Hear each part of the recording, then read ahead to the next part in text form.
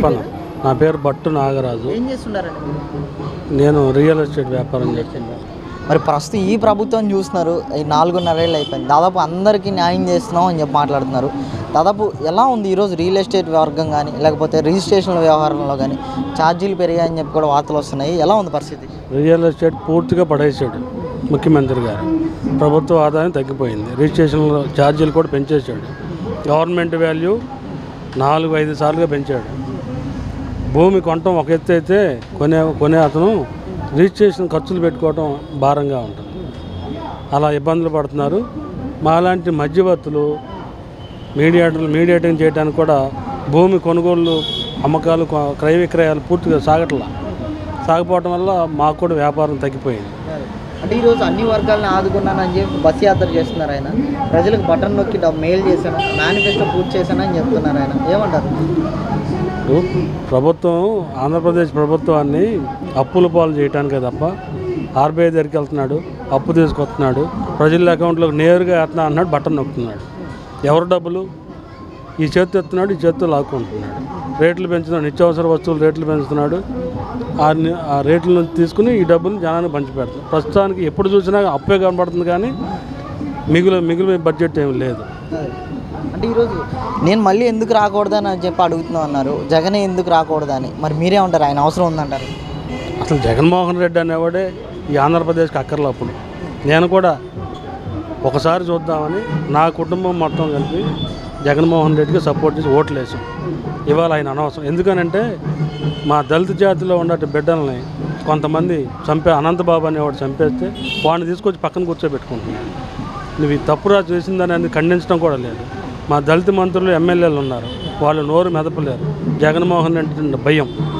వీళ్ళు ఇళ్ళ స్థలాలు జగనన్న కాలనీలకి ఇలా పొలాలు తీసుకుని ఒక రేటు ప్రభుత్వానికి కట్టి ఒక రేటు ఎంఆర్ఓ ద్వారా వాళ్ళు డబ్బులు తీసుకుని డబ్బులు సంపాదించుకుంటే ఇంటెలిజెన్స్ రిపోర్ట్ ద్వారా తెచ్చుకొని జగన్మోహన్ రెడ్డి వాళ్ళ దగ్గర నుంచి డబ్బులు వాపస్ తీసుకున్నటువంటి సందర్భం ఎమ్మెల్యేలు ఉన్నారు. అంటే దళితులకు మేనమామని చెప్తున్నారు కదా పేరుకే దళితుకి మేనమావ అంటే వాళ్ళ మేనత్త ఒక మాల సోదరుని మా వాడిని ప్రేమించిందని ఆ వంకను చూపించి మా మాకు మేనమామలు దళితులు అన్నాడు ఎవరు నువ్వు నువ్వు మాకు మేనమామ అయితే అనంతబాబు అనేవాడు మనిషిని కుర్రాన్ని చంపేశాడు. మరి వాడిని ఎందుకు తీసుకొచ్చి పక్కన కూర్చోబెట్టుకున్నావు అరే నువ్వు చేసిన తప్పురా. నిన్ను పార్టీ నుంచి బహిష్కరిస్తున్నారా అని ఎందుకు బహిష్కరించలేదు? సస్పెండ్ చేయలేదు. అప్పుడు మేము నమ్ముతాం మా మేనమామ అని? పేరుకే మా దళిత గారిని అడ్డం పెట్టుకుని చూపించి మేనమామ అని చెప్పుకుంటున్నాం.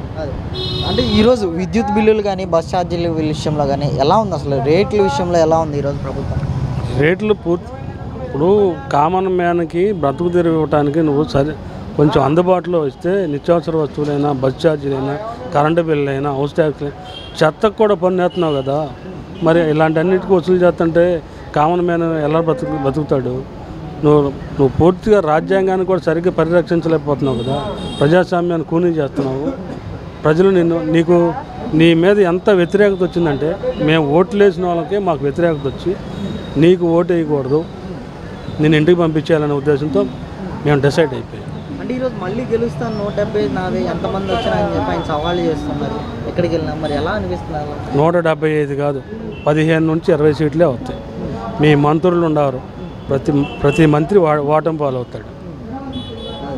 అంటే ఈరోజు రాష్ట్రంలో చెప్తున్నారు మద్యపాన్ని నిషేధం చేస్తారని చెప్పి అధికారంలోకి వచ్చారు. మరి ఈరోజు మద్యం మీద రేట్లు పెంచారు ఇంకా అని చెప్పి వార్తలు వస్తున్నాయి. ఎలా అనిపిస్తున్నారు? మద్యపాన నిషేధం చేయడానికి ఆ రోజు అతను ఇదే ఏమంటాడంటే టెక్నికల్ ప్రాబ్లం మేము అంత ఊహించలేదు. సజ్జల రామకృష్ణారెడ్డి చెప్పాడు కదా సిపిఎస్ రద్దు చేస్తా అని ఆ రోజున టెక్నికల్ ప్రాబ్లం ఏదో అన్నాడు అది వల్లగాని పని అని జీపీఎస్ పెడతాను అన్నాడు. అట్లాగే ఇది మద్యపాన నిషేధం కూడా అంతే. మద్యపాన నిషేధం కానీ నిషేధం చేస్తే రాష్ట్ర ఆదాయం పడిపోతుంది. ఉండ ఆదాయం కూడా ఉండదు. ప్రభుత్వం రన్ అవ్వదు. ఇప్పుడు అదే ఇవ్వాలి పేపర్ న్యూస్ వచ్చింది. ఒక క్వార్టర్ బాటిల్ మీద ఇరవై ఐదు రూపాయలు పెంచాడంట. ఇంకా నువ్వు నిషేధించడం కాదు నువ్వు పెంచుతున్నావు ఇంకా. తాగమని ప్రోత్సహిస్తున్నావు. వాళ్ళు ఈ తాగుడికి బానిసైపోయి నువ్వు ఇచ్చే మందు కూడా నాణ్యమైన మందు కాదు. హార్ట్ స్ట్రోకులు బ్రెయిన్ స్ట్రోకులు ఇలాంటి ప్రా ప్రాబ్లమ్స్ వచ్చి చాలామంది తాగి తాగి వాళ్ళ ఆరోగ్యాలు పాడైపోయి చనిపోతున్నారు. నువ్వు ప్రజలను రక్షించట్లా ప్రజలను నాశనం చేస్తున్నావు. అంటే ఈసారి అన్ని పార్టీలు కలిసి వస్తున్నాయి ఎన్నికలకి. ఎలా ఉండబోతుంది అంటారు ఏం చెప్తారు అసలు అన్ని పార్టీలు కలిసి వస్తున్నాయి. ప్రజల్లో మాత్రం బాగా వ్యతిరేకత ఉంది. కన్నబడిన వ్యతిరేకత చాప కింద నీరులాగా వెళ్తుంది. వీళ్ళు ఒక కూటమిలాగా తయారయ్యి నిన్ను ఓడిస్తారు. అది తప్పనిసరి. ఒక బీజేపీ కానీ ఈ కూటమిలో కలిస్తే మళ్ళా కొంచెం ప్రమాదం ముంచుంది.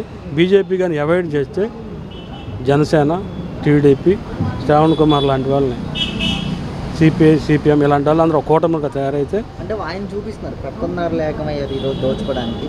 నేను పేదోడి పక్షాన్ని పోరాడుతున్నానని చెప్పి జగన్మోహన్ రెడ్డి మాట్లాడుతున్నారు? ఒక చిన్న కామన్ మ్యాన్ అడిగినా జగన్మోహన్ రెడ్డి పేదవాడు ఈ రాష్ట్రంలో అత్యధిక ధనవంతుడు అందరికీ తెలుసు. అబద్ధాలు ఆడటం అనేది జగన్మోహన్ రెడ్డి వెనతో పెట్టిన విద్య అయిపోయింది. ఒకసారి చూడండి అన్నాడు చూసాం నిండా ముంచేసాడు ఆంధ్రప్రదేశ్ని. మళ్ళీ ఇవాళ ఇంకోసారి చూడు అంటాడు. అక్క అప్పుడు షర్మిల ఉంది విజయ విజయం ఉంది సంకల బైబిల్ పెట్టుకుని మా ఎస్సీ కాలనీలు తిరిగి ఒక్కసారి బాబుని చూడండి అన్నారు. మేము నమ్మి ఓటేసాం. మరి ఇవాళ అంతు లేకుండా వెళ్ళిపోయి తెలంగాణలో కూర్చున్నారు వాళ్ళిద్దరూ. ఆంధ్ర ఏమైపోయింది ఏంటనేది వాళ్ళకి ఏం లేదు. ఇతను వాళ్ళని పట్టించుకోడు. చెల్లికే ఆ- ఆస్తిలో ఓటా ఏమన్నా పొమ్మన్నవాడు. ఈ రాష్ట్రాన్ని ఏం బాగు చేస్తాడు? Okay sir thank you